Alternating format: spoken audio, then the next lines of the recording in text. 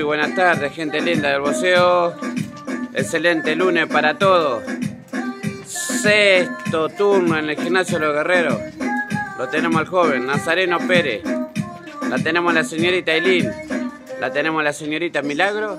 Y lo tenemos al joven Nico La Rosa. Que Dios lo bendiga a todos, señores.